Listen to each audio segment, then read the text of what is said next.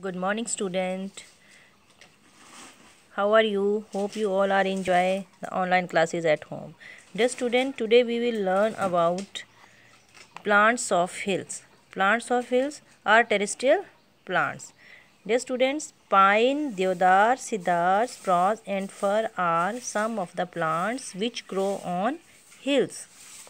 What the name of the plant which grow on hills pines, deodar, cedar, spruce and fir. Okay.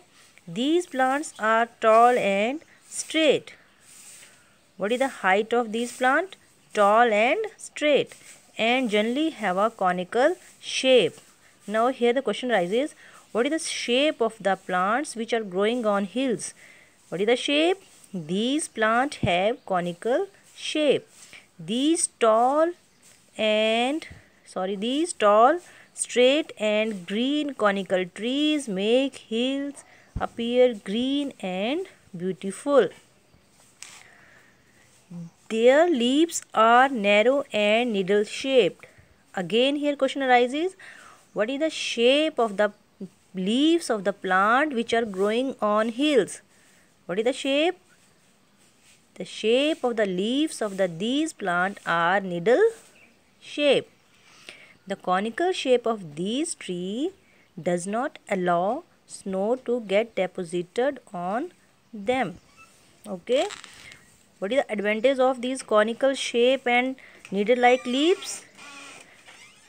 The conical shape does not allow snow to get deposited on them because dear students in hilly area there are lot of snowfalls and according to that the shape of these plant or trees have.